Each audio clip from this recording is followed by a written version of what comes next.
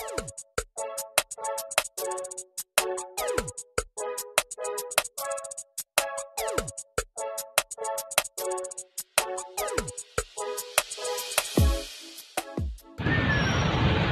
back to my channel. Sa mga kaibigan ko dyan, kamusta kayo?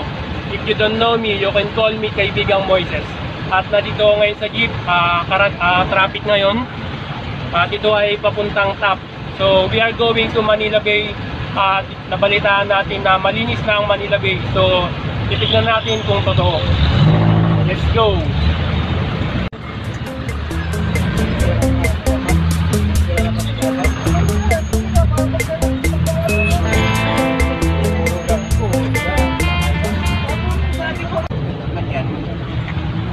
Sa mga interesado po mag-volunteer at tumulong sa paglilinis sa Manila Bay, every Saturday 7 a.m. onward sa Along Roas Boulevard.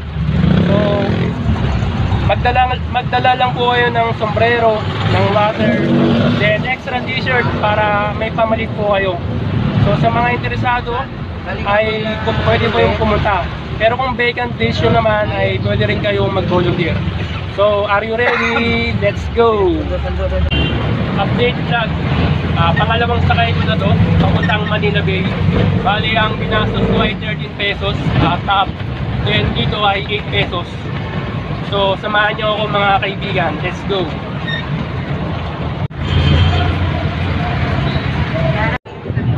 Hello guys, kabababa ako lang ng jeep. So, nandito na ako sa area na ito. So, malapit na tayo sa Manila Bay. Samahan niyo ako.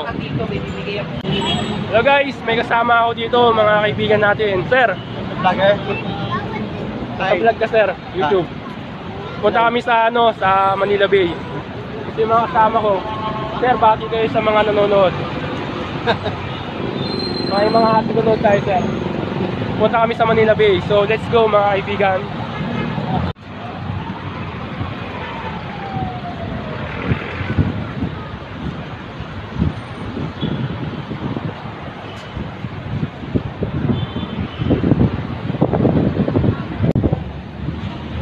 Welcome to Manila Bay. So nandito na ako guys.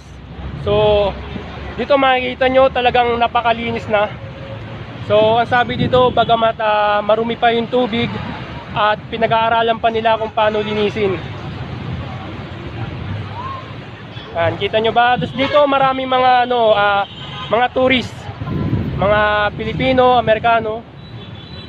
Dito. Yan. So meron silang ini-implement na batas dito. Bawal maligo, bawal lumangoy. Dahil maaaring magkosto ng sakit, karamdaman, leptospirosis, mga ganon. Ito yung mga volunteers na naglilinis. Yan, talagang sadyang napakaraming tao dito dahil dinadayo ito ngayon at trending ito ngayon.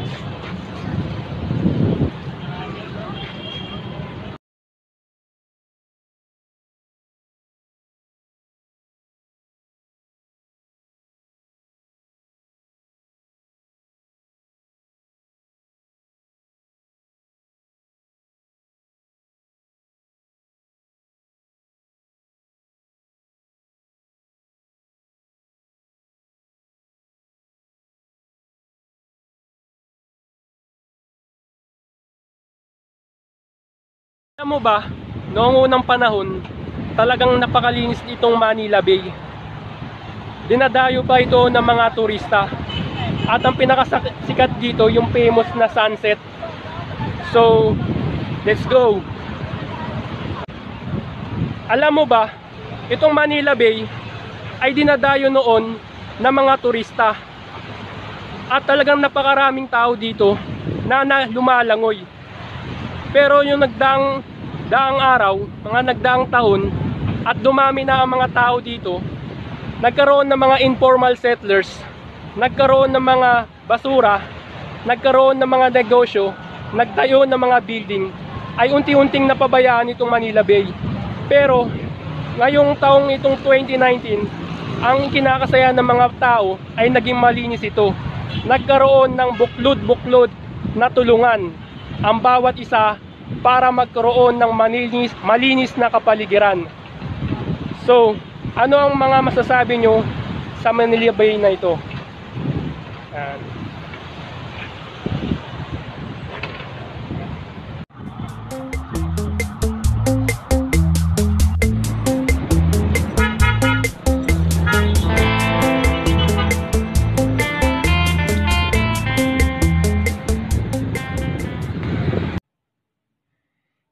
Mga kaibigan. Bali ngayon ako'y nandito na sa aming bahay at ikikwento ko ang nangyari sa Manila Bay. Alam nyo ba na first time ko pumunta doon at two rides ang aking two rides jeep. Then after that, uh, ang nangyari, ang napansin ko doon sa Manila Bay, mayroon ng mga pulis. Yung mga pulis na naroroon, sinisita nila yung mga lumalangoy, bawal na magtapon. At tapos may nakita rin ako doon na basurahan. At may nakita ako doon na lagay ng mga plastic. Then ang nakalagay doon, 500 pesos kapag nakita kang nag, nagkalat. At 8 hours community service. And then may nakita rin pala akong mga foreigners na natutuwa. So meron sana akong video na ipapakita sa inyo pero yung pinili ko dito sa aking cellphone cannot be, cannot be play. So, ikikwento ko na lang sa inyo ang mga nangyari. Then, meron din akong nakausap doon na taga roon din na man, malapit sa Manila Bay. Uh, ah, 11 years old pa lang siya ay naroroon na.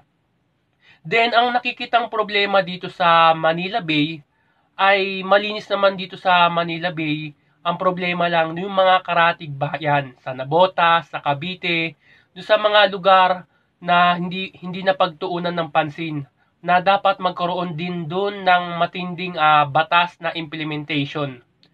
At ang problema dito, dito sa Manila Bay, dito lahat pumupunta lahat ng basura na nanggagaling sa ibang lugar. At ang problema rin dito, yung mga informal settlers na nakatira doon sa mga at mga negosyo na nakatayo na malapit sa Manila Bay yun ang nakikitang problema. So, nakita ko dun sa Manila Bay, mayroon ng mga buhangin, uh, maraming mga estudyante, maraming mga teachers. Uh, ang may nakita rin ako doon na mga ano uh, yung mga networks na sikat sa TV. So, nag-interview sila doon. Ang katunayan niya, nag-interview din ako. Ang kasamaan lang ay hindi ko may upload dahil cannot be play. So, nagkaroon tayo ng problema doon. Kaya, ikinukwento ko na lang sa inyo, mga kaibigan. So, ang napansin ko rin pala doon, ah, uh, uh, yun, oh, sige, let's go na mga kaibigan. ang nakikitang problema rin dito ay kapag bumagyo. Dito natin makikita kung talagang may resulta ang Manila Bay kung talagang malinis na. Pero yung Manila Bay, malinis naman talaga. Nang nakita natin, ang, poproblema, ang problema dito, yung sa mga ibang lugar, na doon pupunta sa Manila Bay ang mga basura. So, ang ano pa nito sa tubig ay marumi pa siya na maaring magkaroon ng karamdaman sa tao katulad ng leptospirosis. So, sa mga pupunta doon, uh, mag, uh, yun lang, mga kaibigan. Hi!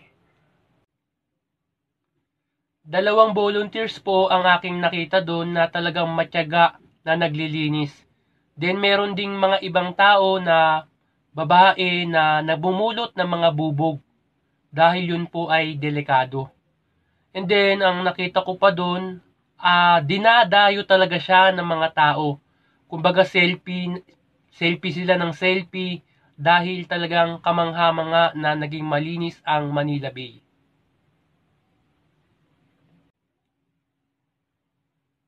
Alam mo ba, kahapon, February 5, 2019, doon po maraming mga pamilya na nagdidiwang ng Chinese New Year. At ito po ay nakita ko sa Facebook.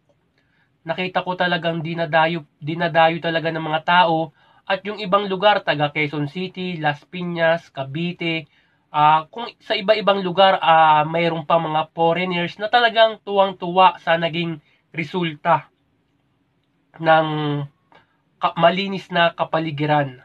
So ako rin bilang estudyante ay natutuwa rin ako.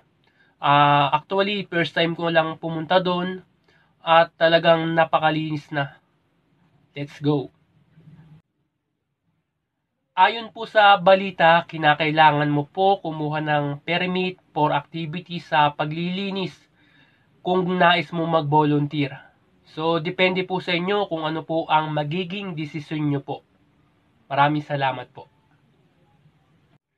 At kung hindi ka pa isa sa mga subscribers ko, make sure to like, comment, share, and click notification bell para laging updated sa mga vlogs ko. Ako po'y nagpapasalamat sa mga subscribers ko na patuloy na sumusuporta sa patuloy na nanonood ng aking mga videos. Maraming maraming salamat sa inyo mga kaibigan. Lalong-lalo na sa pag-share nyo ng, ng aking mga videos na ito sa social media ay malaking malaking tulong ito upang dumami ang aking mga subscribers at mga viewers. Maraming maraming salamat. Taos puso kong nagpapasalamat ng walang humpay. At sa muli mga kaibigan, magkita ulit tayo. Thank you!